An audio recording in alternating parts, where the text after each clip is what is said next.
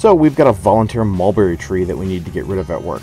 So Trent and I head over there with the bucket truck, chainsaw, and wood chipper. Between the two of us, we can make pretty short work of this tree.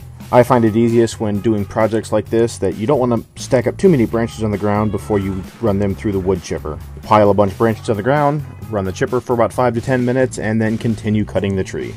This wood chipper can take up to 10 inch logs, but the max we run through is somewhere between 6 and 8. Since we have this wood chipper, it takes the cleanup time and cuts it into about a quarter. And we don't wear out our shoulders by having to throw the branches in the back of a dump trailer, we can just load them easily into the chipper. Bucket truck didn't reach everything, so we had to get the forklift, and then we just take everything else down from the ground do a little bit of cleanup before we're done, and make things into manageable piles so that we can move them later. There are a couple people around town that we can call that want firewood, so they come by and clean up the big logs. And this whole tree was condensed down into this little pile. So, done with this, and on to the next project.